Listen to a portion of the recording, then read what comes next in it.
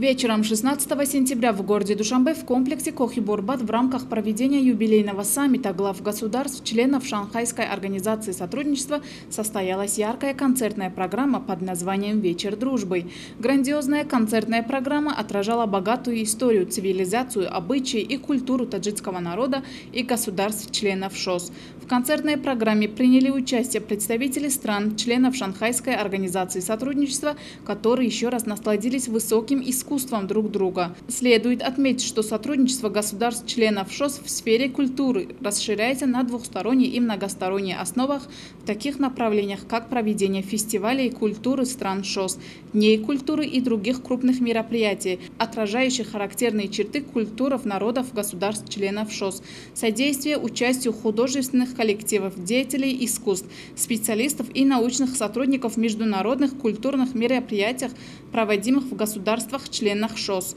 организация гастролей творческих коллективов, поддержка прямых связей и сотрудничество между учреждениями и организациями культуры и искусства. На вечере дружбы в городе Душанбе музыкальные и танцевальные коллективы продемонстрировали высокий профессионализм в исполнении песен и танцевальных номеров, олицетворяющих единство, солидарность и дружбу народов и наций стран-членов ШОС.